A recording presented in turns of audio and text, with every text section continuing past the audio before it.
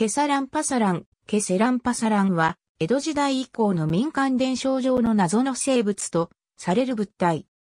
外観は、タンポポの綿毛やウサギの尻尾のようなふわふわした白い毛玉とされる。西洋でゴッサマーやエンゼルヘアと呼ばれているものと同類のものと考えられている。白い毛玉のような物体で空中をふらふらと飛んでいると言われる。東北地方では嵐の前などに雷と共に降ってくるという伝承がある。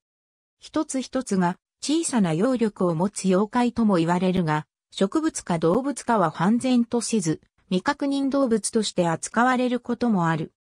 名前の由来については、スペイン語のケセラ、セラが語源だという説、ケサラ、バーサラという盆語が語源だという説、羽毛のようにパサパサしているからという説、何が何だかさっぱりわからんを意味する東北地方の言葉との説などがある。ケサランパサランを見つけると幸運になるという伝承がある。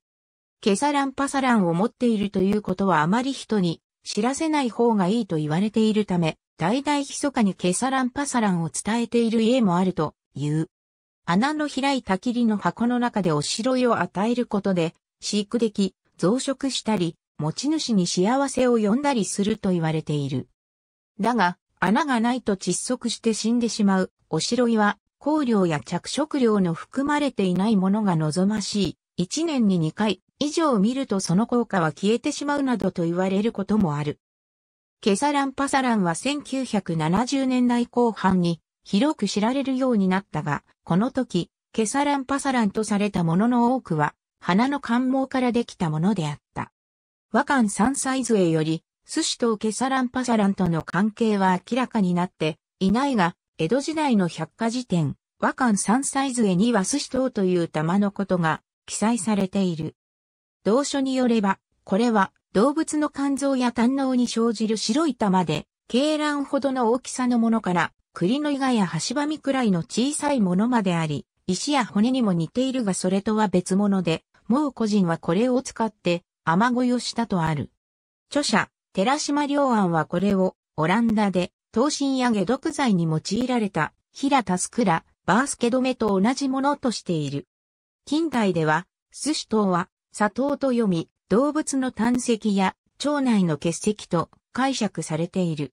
うさぎの毛玉のような動物系のものとタンポポの綿毛に似た植物系のものがあるとされる。正体は明らかではなく、以下のように動物の毛玉、植物の花の感毛などいくつかの説がある。またはこれらすべてを総称して、ケサランパサランとして認識されている可能性がある。姫路市立動物園で展示されているケサランパサラン山形県鶴岡市の鴨水族館や兵庫県、姫路市の姫路市立動物園で展示されている。鴨水族館では、村上達夫、名誉館長が1990年頃に、合算三六のブナの木の下で発見した綿毛状の物質を展示している。ここでは、ワシなどの猛禽類が、ウサギなどの小動物を食べた際に排泄される毛玉であると説明されている。また、姫路市立動物園では2010年頃から展示されているが、これは猛禽類が餌を消化しきれずに吐き出した羽の塊であり、猛禽類の生態を知ってもらうための企画として展示されている。ありがとうございます。